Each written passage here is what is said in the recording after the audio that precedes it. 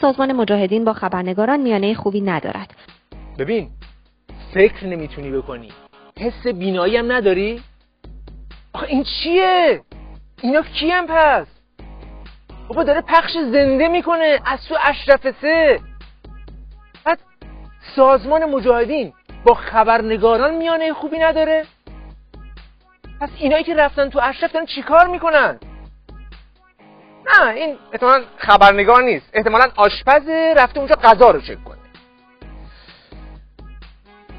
خب این مجاهدین دیگه چه جرمی مرتکب شدن؟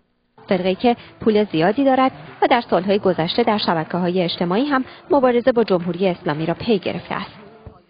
بله مبارزه با جمهوری اسلامی این جرم نابخشودنی مجاهدینه دقیقا مطابقت داره با منویات بیت ولایت و قوه قضاییه هر کس که از این اقدامات براندازانه بکنه فرق محسوب میشه.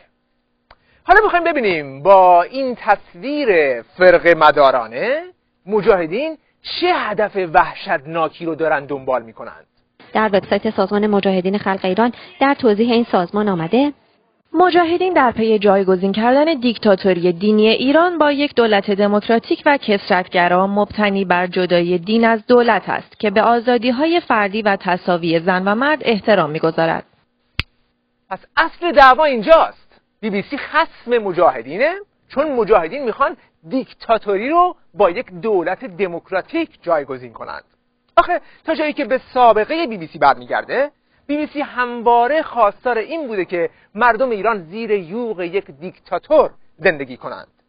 وقتی مصدق سر کار باشه برای نجات ایران از دست مصدق تلاش می‌کنه و با دربار و کاشانی و امثال خمینی دست به یکی می‌کنه که حق به حقدار یعنی شاه برسه.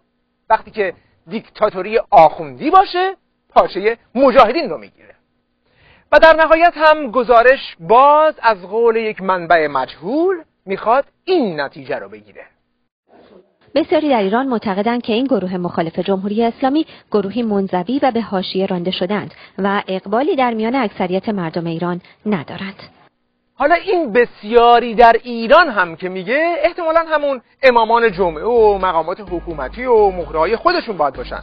چون خیلی واضحه که اگر کسی غیر از این رو بخواد درباره مجاهدین بگه خب خیلی زود سرنوشتش با اوین و گوهردشت و اینا البته روشن نیست که این چه گروه منزوی و به حاشیه رانده شده ایه که خود بی بی سی براش چهار تا گزارش تهیه می‌کنه.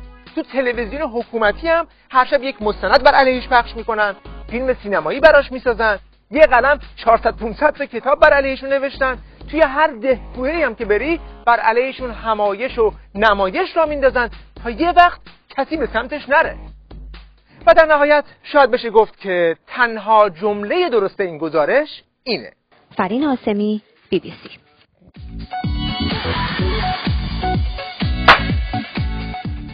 گزارش بی بی سی در یک روند مستحلک شونده از یک گزارش چهار هزار کلمه ای رادیویی گام به گام به یک گزارش آخون پسند تبدیل شد. حال ببینیم اون قسمت هایی که گردانندگان بی بی سی برای مخاطب فارسی مزر تشخیص دادند و از گزارش های بعدی حذف کردند کدوم قسمت بوده اولیش صحبت های شهردار سابق مانز شهری در نزدیکی اشرف سه در رابطه با مجاهدین The local population here was very suspicious. Who are they? Why should they come precisely here? But then it was the Iranians themselves that won the hearts of the local population here by kind of starting bilateral relations of friendship, inviting local population there and then the local population inviting them on different occasions. Vazhdën e atyre lidhjeve të ndërsjellta me banorët. Jam pasionant sepse I will tell you why I feel so passionately about them. It all started when they showed me their museum and I saw proof of their struggle and of their fight, what they've been through, the torturing and the killings by the Iranian regime. And when I saw that, I felt very emotional and this is how sort of the link, the spiritual link with them was forged. طبعا این قسمت یکی از قسمت های نامطلوب گزارش از نظر درخواست کنندگان بوده که سری زنگ زدن اینو حذف کن البته صحبت های اهالی اطراف اشرف هم که مجاهدین رو خوب میشناختند دچار همین سرنوشت شد. Apart from providing casual employment, the families benefited in other ways from their Iranian neighbors. The people in the camp is uh, very good. Very popular. Very good. And did they give you some help? Yes, yes, very much. Clothes, uh, food. Uh... Money. چی؟ مجاهدین افراد دوست داشتنی هستن؟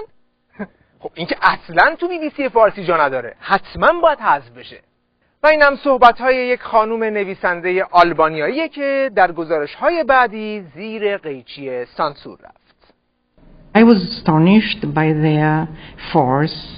They wanted to continue their cause for freedom, equality, even to see the Muslim religion, their concepts about it, about the veil, etc. Because I heard Madame Rajabi, the veil is not an obligation. So women must be free to put it or not. خب این صحبت ها به طور خاص از جانب یک نویسنده دیگه اصلا نباید توی بی بی سی جایی تکرار بشه اینجاست که جمله زنده یاد احمد شاملو که از حرامزاده ترین نوع سانسور در بی بی سی صحبت می‌کنه در ذهن تصویر عینی تری پیدا می‌کنه. وقتی که صحبت های مردمی که میزبان مجاهدین بودن رو حذف می‌کنه و تریبونش رو در بست در اختیار ماموران اطلاعات قرار میده. منبع تمام گزارشات بی بی سی درباره مجاهدین فقط دو مأمور سوخته اطلاعات بوده که قبل از بی بی سی با همین عراجیفشون اشپیگل رو هم به روز سیاه نشوندند یکی از این مأموران این موجوده که با مظلوم نمایی چند تا دروغ دم دستی رو تحویل آیت الله بی بی سی میده Ghulam has tired, sad eyes. They peer out from behind his slightly wonky glasses as he tells us how he was deceived by his MEK commanders. They didn't tell us my family come there and they search for me. Oh, your family came to Iraq yes, yes, to yes, search for you? Yes, yes. But they didn't told me anything about my family, my, my wife and my, my son.